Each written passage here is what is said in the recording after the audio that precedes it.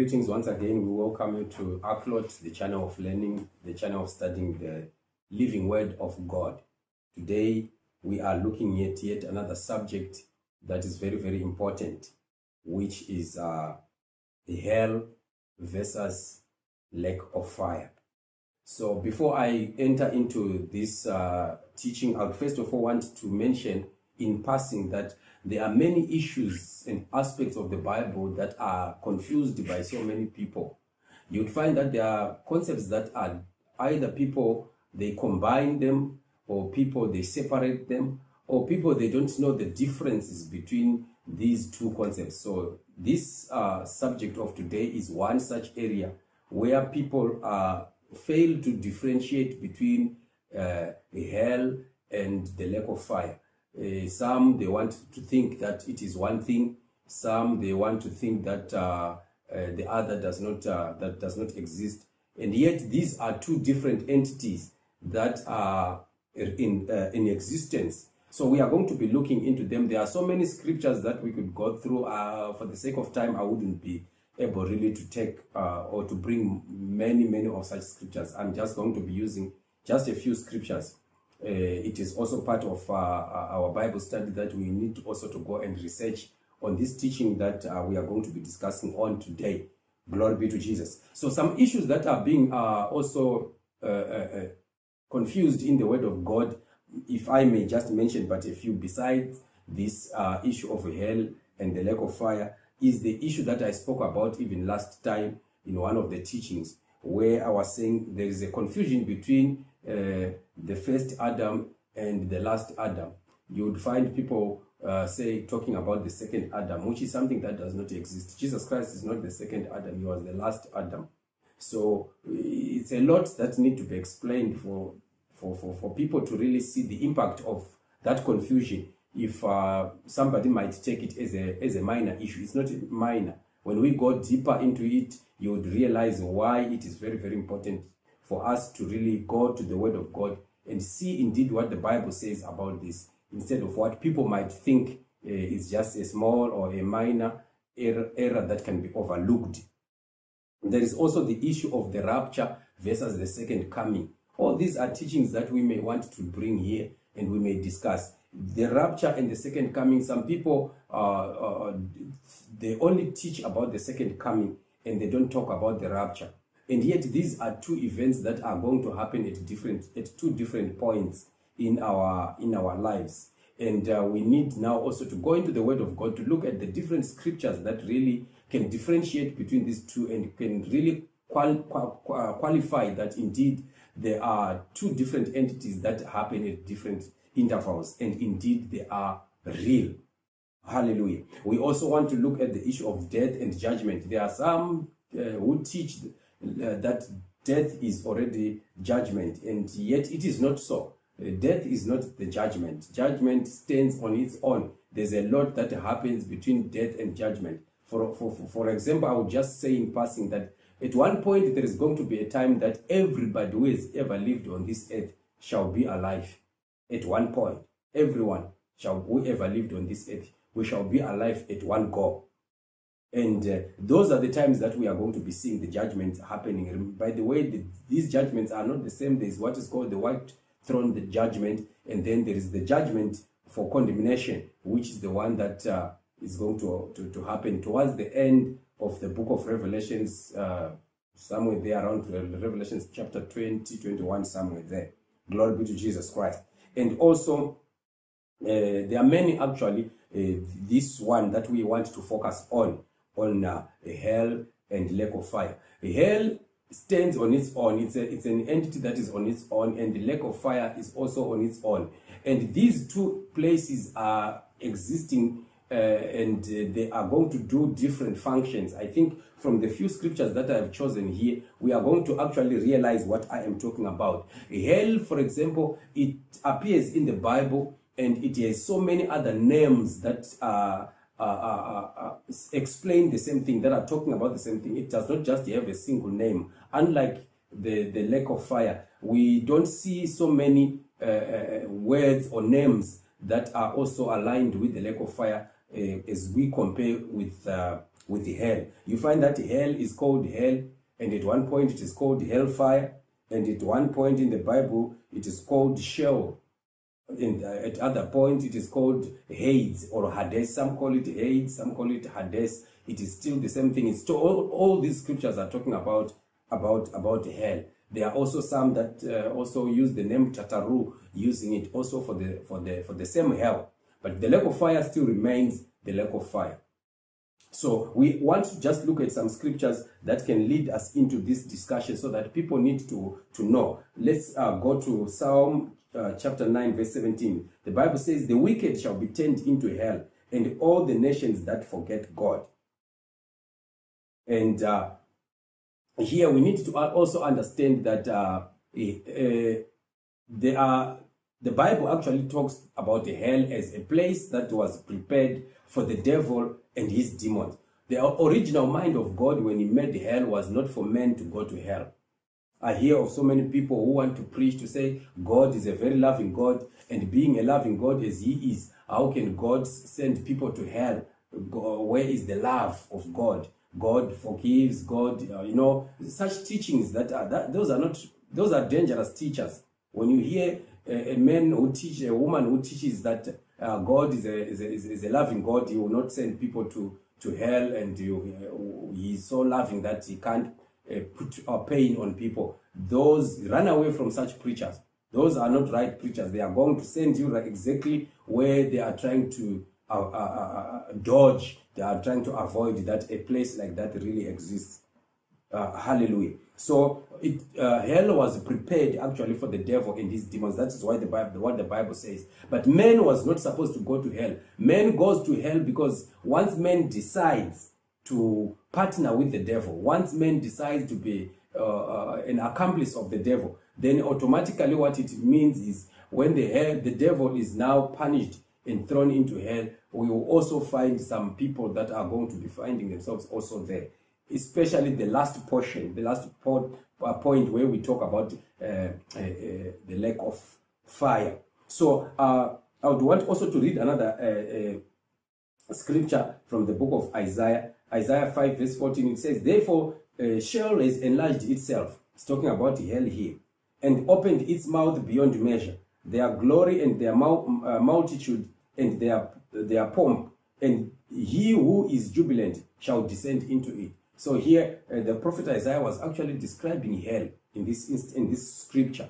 And I, would, I wouldn't want to go deeper into what really he talked about or what he really meant as he spoke about hell having enlarged itself. But I would want people to understand that at one point everybody was once closed into into into into hell. People of the Old Testament and they had to be redeemed. And when they were redeemed, a portion of the righteous, it was it also it became automatically hell. This is why now Isaiah was talking about this instant where uh, Sheol has enlarged itself. And it means now the, the, the righteous, those people that were God-fearing, who were once locked under there by the devil, uh, were waiting for the for the for this last sacrifice, which was the Calvary, the sacrifice of Calvary of the blood of Jesus Christ. You remember, Jesus Christ on the second day he ascended into hell. He went into hell. He went to free those that were bound uh, by the devil under there because nobody was born again. Nobody was righteous to go to heaven, even if they were God fearing. So it took now the righteousness of Christ to go and set those people free. You can read that from the book of Jude, and there are so many other scriptures that talk about even Peter eh, in his epistles. He also speaks about this of Jesus Christ going into the deep, deeper parts of the earth to go and set those who were uh, uh under the uh, uh kept captive by the devil free. Glory be to Jesus Christ. So now hell continues to remain. And this is a place that people that have not worshipped God, people that were not righteous, people that did not live their life according to the expectations of God, will go automatically when they die. They go there. And that is a place, it is just a bus stop. It is a place that is uh, uh, where people are waiting, but there is pain, there is fire already, there is suffering already, there is everything that you can call evil already happening in that place. So it is right now happening. It is in existence as we speak right now. People are in hell. People are burning in hell right now. And yet, that is not the final place. with all the pain and the suffering, nobody will ever know that there is yet another place that is coming. I'm going to prove that there is another place which is going to be the final point from after hell because a lot of people want to teach that hell will be the last portion and some people want to teach that uh, nobody is in hell so far. Uh, some people are just somewhere where it's not known but they are waiting after judgment then they go to hell. You will find that uh, judgment actually does not send people to hell. People will actually come out of hell to go for judgment and then they will be sent to the last place. And the, the lake of fire now being the last place. Glory be to jesus christ so people, we need to understand some of these things as, uh, as, as, the, as the word of God continues to guide us. So if we may go uh, to the book of Revelations chapter 20, uh, verse 10, I would want to read this scripture so that I, I bring it as proof of what I have said so far about, about hell and, and the lake of fire. The Revelations 20 verse 10, it says, The devil who deceived them was cast into the lake of fire and brimstone, where the beast and the false prophet are, and they were they will be tormented day and night forever and ever. So here people must understand now the Bible is now talking about not hell this time, but it's talking about the lake of fire. And this lake of fire is not hell. The next scripture is the one that is going to explain this out clearly for people that might think that this is a, a, a, a wrong teaching. The next scripture is going to show us exactly. So this is a point where now the, the God is going to be judging the devil. And here we are hearing that the devil uh, who deceived them, meaning who deceived the world, was cast into the lake of fire, into the lake of fire and brimstone, where the beast and the false prophet are. So this beast and the false prophet, we are talking about the Antichrist, the man of sin, right? The son of perdition, who is going to be leading the world, who is going to be the president of the one world government of the world that we are sl slowly drifting into, that we are already uh, uh, uh, entering into, right? This one world government, this global government, uh, which is going to be run by, uh, which is being organized by the United Nations and is going to make sure that there's going to be one world government, one world leader, one world currency, and one world religion. What we are moving into uh, uh, uh slowly, slowly in these days that we are living in. And this is a, a time that the church is going to be raptured. I have spoken about the issue of the, of the rapture versus the second coming. And Jesus Christ will snatch away the church so that the time of tribulation happens, which is a period of seven years. And the time of tribulation is the exact time of the beast who is going to be running this uh, this world. And if you read from the book of Revelations, we, we hear when the seals were opened by Jesus Christ. The first seal, it produced a, a man who, who was putting on white and riding on a white horse, and he was released to the earth. And that one is the Antichrist. That one is not Jesus Christ. I've heard so many people teaching that that was Jesus Christ. That one is the Antichrist. It is the son of the devil. He is actually a devil incarnate who is going to be released by the devil into the world. And he is there. This man is living. He's a real human being who is there somewhere. And this man shall be revealed at, at the right time and shall be the one who heads the one world government and he's going to be a ruthless person. He's going to be killing, especially those people who may want to confess Jesus Christ, who may want to continue following Christ, although the church and all the righteous people will have been raptured. So the rapture, once it takes place, then this man comes into effect, and he now begin to lead the to the government, the one world government. Right. This is a time that is going to be the time of tribulation of seven years, and the church and the saints shall be in, in, in heaven with Christ for the marriage supper of heaven for seven years while the world is under the, the one world government or is under the, the Antichrist or the beast for seven years. And during that time, it's going to be a time of pain. It's going to be a time of suffering. A lot of people will be dying. Actually, the Bible says two-thirds of the world shall be dead, shall be killed. And Jesus Christ spoke about this time and he even says, if this time had not been shortened, no flesh would have survived during that time. And also there are going to be uh, hardships that are caused by the Antichrist and his government on the people. And there are also going to be punishments that God himself will be sending upon the earth. We will see there are seven uh, trumpets, there are seven bowls, there are also uh, the seven seals that are going to be experienced, where at one point, for example, the whole water on this earth shall be turned into blood. And I don't know what is going to be happening during that time. There's going to be pestilences, there's going to be hunger, there's going to be earthquakes, there are going to be stars that shall be falling from heaven. Imagine stars, not splinters, splints from of meteorites that have, that have fallen onto the earth and caused devastating effects. But in this instant, it will be stars, literally stars that will be falling. And at times, you know, the Bible, the book of Revelations explains that stars will fall like figs that are falling from a, a, a, fig tree that is being shaken. Imagine what is going to be happening to the world at that point. And we also hear of beasts and animals that shall be released into the world and shall be devouring people. There are going to be sicknesses and diseases. There are going to be uh, so many wars that will be happening, people being butchered and the like. That's where we also hear of the remnant, the people that, of Israel that God is going to be uh, taking and hiding them somewhere in the mountains of Bozrah, somewhere there in the land of in the in the places of the of Gaza, where the war right now is happening between the Jewish people or Israelites and the and the Philistines. Those things are reserved. Those places are already reserved by God as place. That land is a divine place. Israel is the land that bears the name of the Lord. And he said, this is going to be the land that bears my name forever. So whoever might be talking about demarcating Israel, the United Nations are sitting down to say it must be demarcated and Um, uh, uh, Palestinians take this other area and the Israelites taking that area. That land was given to Abraham. It is a covenant land and it is the land where Jesus was born, where Jesus was crucified, where his second coming is going to happen. The whole church upon the second coming shall be landing exactly on Israel, right?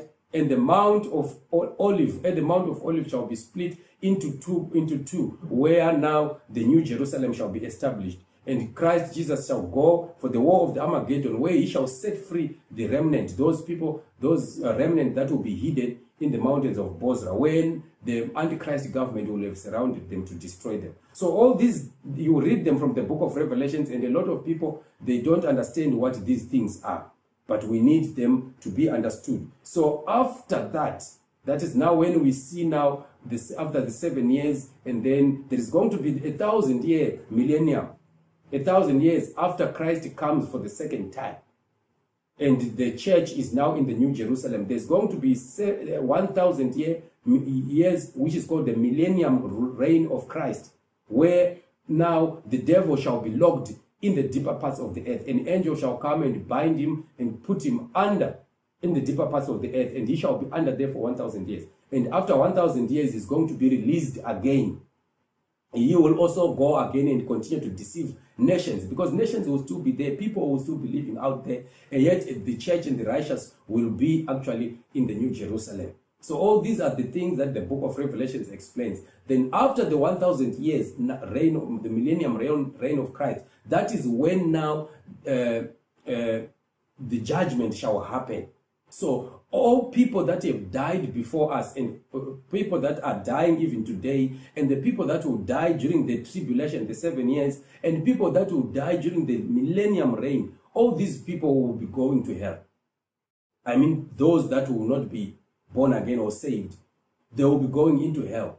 And after that, that's when we will see now, after the 1,000 years, we will now see judgment, the judgment happening now. When now the devil himself is going to be thrown into the lake of fire. And all those people that were with him, that agreed with him, will also be will have left hell to come for judgment.